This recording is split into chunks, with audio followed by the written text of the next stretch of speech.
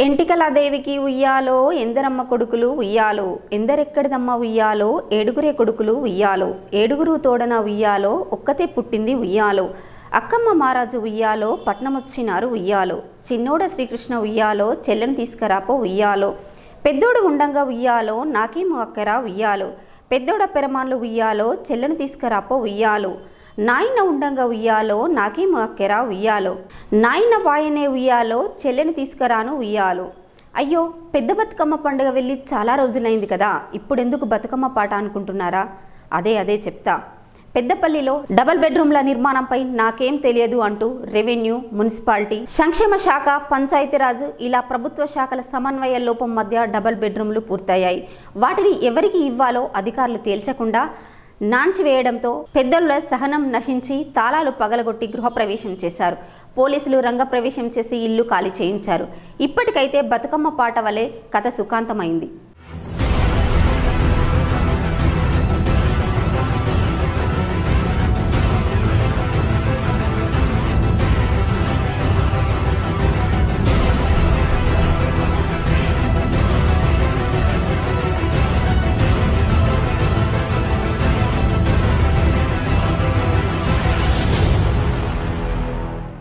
Double bedroom ఇండ్ల కోసం ఎదురు చూస్తున్న పేదోళ్ళ ఓపిక నశించింది. సహనం కట్టలు తెంచుకున్నది.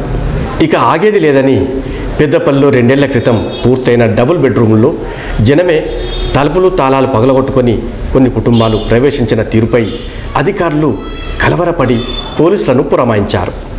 ఇప్పటికీ రాష్ట్రంలో మూడు దశల్లో ఇళ్ళ నిర్మాణాలు పూర్తి చేసి లాభోక్తులకు పంపిణీ సైతం జరిగిపోయింది. కానీ పెద్దపల్లిలో అధికారులు మారిపోతున్నారు. ఏళ్ళు గడుస్తున్నాయి. చివరకు నిర్మాణం పూర్తయిన ఇళ్ళ సిమెంట్ పెచ్చులు సైతం ఊడిపోతున్నాయి. అయినా పాలకులకు అధికారులకు మాత్రం గరీబుళ్ళకు ఇల్లు ఇవ్వడానికి ముహూర్తం కుదురుతుందో లేదో. అయినా పాలకులకు అధికారులకు మాత్రం గరీబుళ్ళకు ఇల్లు ఇవ్వడానికి ముహూర్తం కుదురతలేదో వాళ్ళకు అంత మంచి బంగ్లాలు ఇవ్వడానికి మనసు ఒప్పడం లేదో తెలియదు కానీ మూడేళ్ళుగా డబుల్ బెడ్రూమ్ ఇండ్లు మూలుగుతున్నాయి. దీంతోనే పేదోడికి ఓపిక నశించిపోయిన కొన్ని కుటుంబాలు మాత్రం నిన్న డబుల్ బెడ్రూమ్ తాళాలు పలగొట్టి పాలు పొంగించుకొని గృహప్రవేశాలు చేశారు.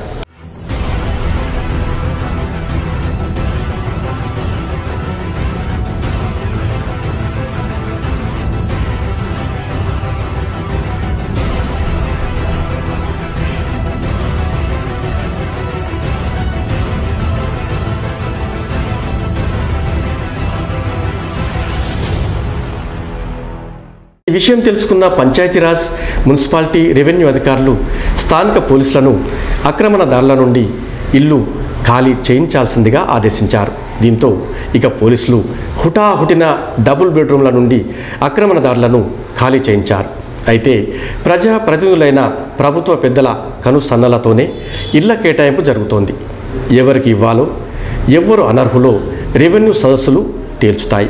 కానీ చివరికి రాష్ట్రమంతా ఎమ్మెల్యేల చేతుల్లో డబుల్ బెడ్రూమ్ ఇండ్ల కేటాయింపులు ఉంటాయి. ఇక్కడి రెండు మూడేళ్ళుగా ఊరిస్తున్న డబుల్ బెడ్రూమ్లు ఇప్పటికీ ఏ పేదోడికి దక్కలేదు.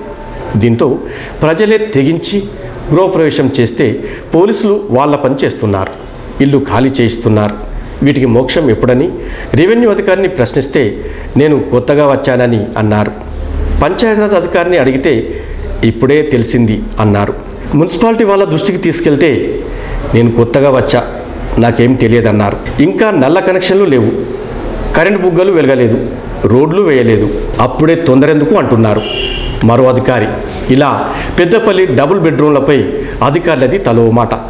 ఇప్పటికే పెచ్చులుడుతున్న డబుల్ బెడ్రూమ్లను తమకు కేటాయిస్తే మరమ్మతు చేసుకుంటామని గరీబులు అంటున్నారు. అయితే మురికి కాలువల ప్రక్కన చెట్ల కింద నివసిస్తున్న వారి డబుల్ బెడ్రూమ్ కోరిక నెరవేరడానికి ఒక జీవితకాలం పడుతోందా? ఓపిక పట్టుకోమంటారా? టీఆర్ఎస్ సర్కార్ హామీ ఇచ్చి తొమ్మిదేళ్ళు పెద్దపల్లిలో పూర్తయి మూడేళ్ళు ఇంకా ఎంతకాలమో చూడాల్సింది. మాకు డబల్ బెడ్రూములు కావాలి మాకు జాగాలు లేవు ఇండ్లు లేవు. గరీబ్ వాళ్ళం మేము పేదోళ్ళం. చిన్న చిన్న పిల్లలు ఉన్నారు పాములు పురుగులు ఉన్నాయి. ఈ వాడకచ్చి ఉన్నాం మేము. మాకు డబుల్ బెడ్రూమ్ ఇవ్వకపోతే తాళం పలగొట్టుకొని ఇప్పుడు ఎట్లా వేయినరో వాళ్ళు మేము కూడా అట్లనే తాళాలు పలగొట్టుకొని వేయి ఉంటాం వల్ల డబల్ బెడ్రూములు కట్టి ఇప్పుడు సంవత్సరం అవుతుంది మాకు డబుల్ బెడ్రూములు ఇంతవరకు ఇచ్చింది లేదు చేసింది లేదు సార్. మాకు డబుల్ బెడ్రూములు ఇయ్యండి మేము పేదోళ్ళం. చిన్న చిన్న పిల్లలు ఉన్నారు. గరీబ్ వాళ్ళం. మాకు భూమి లేదు జాగ లేదు మాకు ఏది లేదు. మాకు ఏది లేదు. ఉండేటందుకు ఇల్లు లేదు ఏమి లేదు. ఇక్కడ ఉంటున్నాం. మాది పెద్దపల్లి శాంతినగరు. కట్ట కాలువ కట్టకు చిన్నగా షెడ్ వేసుకొని ఉంటున్నాం మాకు కేసీఆర్ డబల్ బెడ్రూమ్ ఇస్తానన్నాడు మాకు ఏది ఇవ్వలేదు ఇంతవరకు. కోరుకుంటున్నాం మాకు కావాలి మాకు ఇల్లు లేదు ఆగలేదు వర్షాలు కొట్టినప్పుడు బాగా ఇబ్బంది అవుతుంది పిల్లలతోటి మాకు. ఏది లేదు. శారదా మేము కొన్ని సంవత్సరాల నుండి కాలువ కట్టు మీద ఉంటాను. ముందు కూడా మా గుడిసెలు వీకెత్తా అన్యాయం చేస్తా అంటాను అంటే మేము ధర్నా కూడా చేసినాం. మీకు డబుల్ బెడ్రూమ్ ఇస్తాం. మీ గుడి మీకు ఇచ్చేదాకా మేము గుడిసెలు వీకేమన్నది ఇప్పుడు అనబట్టి రెండు మూడు సంవత్సరాలు అవుతుంది. మీరు రెండు మూడు సంవత్సరాలు ధర్నా చేసినాం. అసలు మాకు ఇత్త ఇత్త అంటాను కానీ ఇత్తలేడు.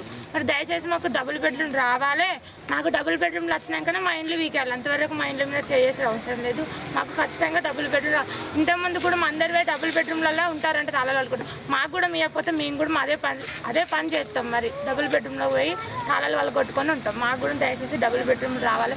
కొన్ని సంవత్సరాల ఉండాలి ఉంటాను. పిల్లల్ని పట్టుకొని చిన్న చిన్న పిల్లల్ని పట్టుకొని ఉంటాను. మమ్మల్ని వాళ్ళు ఎవరు కళ్ళు అంటలేడు ఇక్కు కూడా చిత్తలేడు. మేము పేదోళ్ళమేనా మేము ఏం లేకనే కదా కాలకట్టు మీద ఉంటాను గవర్నమెంట్ భూమిలో. మాకుంటే మేము గవర్నమెంట్ భూమిలో ఎందుకు ఉంటాం? లేకనే ఉంటాను మమ్మల్ని దయచేసి ఎమ్మెల్యే మమ్మల్ని కళ్ళ చూసి మాకు డబుల్ బెడ్రూమ్ ఖచ్చితంగా నా పేరు కమల. మరి కాలుగట్టు మీద శాంతినగర్లో ఉంటాం మేము. మరి చాలా సంవత్సరాల నుంచి ఉంటున్నాం ఇరవై సంవత్సరాల నుంచి ఉంటున్నాం. మరి డబుల్ బెడ్రూమ్ శాంక్షన్ చేసిరు ఇంతవరకు మరి మాకు డబుల్ బెడ్రూమ్ రాలేదు. మరి ఇస్తామంటున్నారు. మరి ఇస్తలేరు. మరి మొన్న రోజుల నిన్న మొన్న మరి డబుల్ బెడ్రూమ్లలో వేరే వేరే ఊరోళ్ళు పోయి తాళాలు పలగొట్టి ఉన్నారు. మరి మాకు డబుల్ బెడ్రూమ్ ఇవ్వకపోతే మేము ఇంకా అదే పని చేస్తాము. పెద్ద పిల్ల ఇంతవరకు మాకు ఇవ్వలేదు ఇవ్వాలని మేము మీ నుంచి కోరుతున్నాం. కేసీఆర్ గారు తెలంగాణ వచ్చినప్పటి నుంచి కేసీఆర్ గారు మాకు డబల్ బెడ్రూమ్ ఇస్తామన్నారు. మరి గత కాలం మేము మనోహర్ రెడ్డి దారి పోయినప్పుడు మళ్ళా బిడ్డ మీకు మంచిగా చేసిస్తా అన్నాడు మరి మనోహర్ గారు మమత గారు దయచేసి ధన్యవాదాలు తెలుపుకుంటానా? మా వాడకు మాకు మంచిగా డబల్ బెడ్రూమ్ ఇచ్చేలాగున సహాయం కోరుతానము. దీనికి తప్ప ఏం లేదు సహాయం కోరుతానము. మాకు మంచి డబల్ బెడ్రూమ్ ఇచ్చేలాగున మీరు దయచేసి మరి మరి కేసీఆర్ అన్న ప్రకారంగా మా ఊర్లో మా ఎమ్మెల్యే గారు దయతలిసి మాకు మరి అడుగుతానా? ఇదే నా మనవి అండి.